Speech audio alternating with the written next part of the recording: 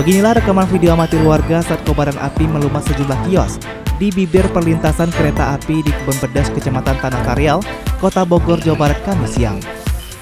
Warga juga dibuat panik lantaran kebakaran sempat diwarnai letupan tabung gas.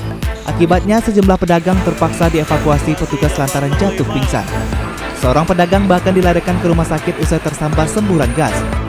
Diktai kebakaran ini terjadi akibat selang regulator yang bocor hingga tersambar percikan api. Kasus kebakaran ini masih didalami pihak kepolisian. orang reka